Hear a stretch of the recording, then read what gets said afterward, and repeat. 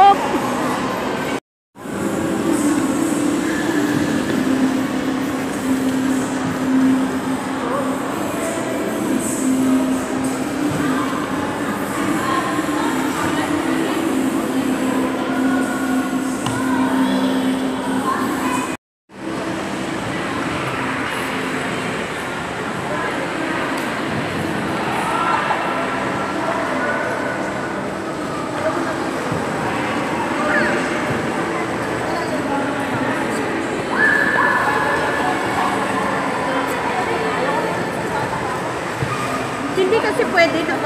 kinukuha daw ng basta-basta.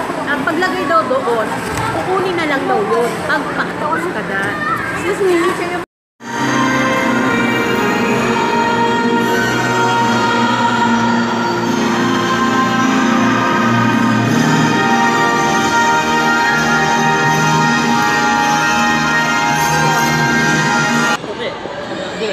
Go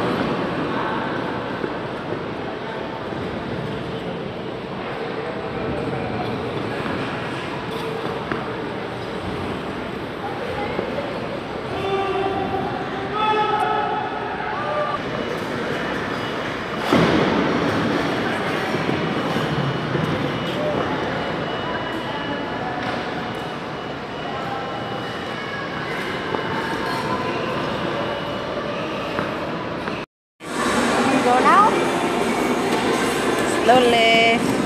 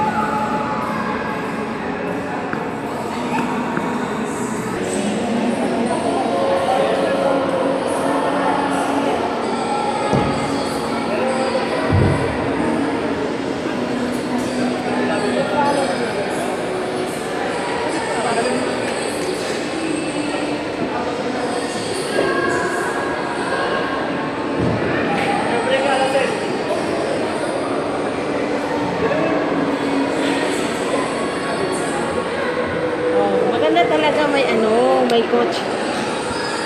é the first time, first time.